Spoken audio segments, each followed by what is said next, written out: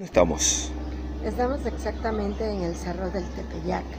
Aquí en este cerro, por acá, ahí vemos esos cerros, por allí es donde pasaba Juan Diego. Y nos, cuenta, nos que ahí pasaba Juan Diego y todo esto pues era el cerro del Tepeyac. Entonces, llegando acá, la Madre Santísima, esta basílica es la primera que se construyó porque aquí se apareció Madre Santísima a Juan Diego y ahí le pidió que se hiciera, que se erigiera su casa para en ellos mostrar todo su amor y compasión a sus hijos. Y allí fue la primera basílica que tuvimos.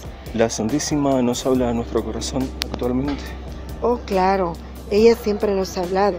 Recordemos que ella es un ser espiritual y como ser espiritual nosotros también somos seres espirituales y entonces tenemos comunicación. Solamente necesitamos callarnos, escucharnos, conectarnos, como se diría hoy modernamente, así como nos conectamos con nuestros amigos por Facebook, por WhatsApp, antes por correo electrónico, así nos conectamos nuestro corazón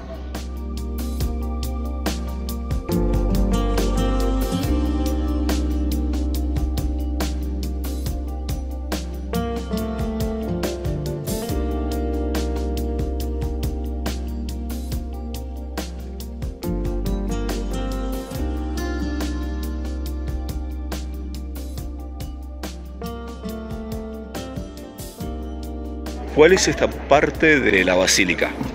Bueno, esta parte es una capillita que se mandó a construir, ahí nos narra, en 1660.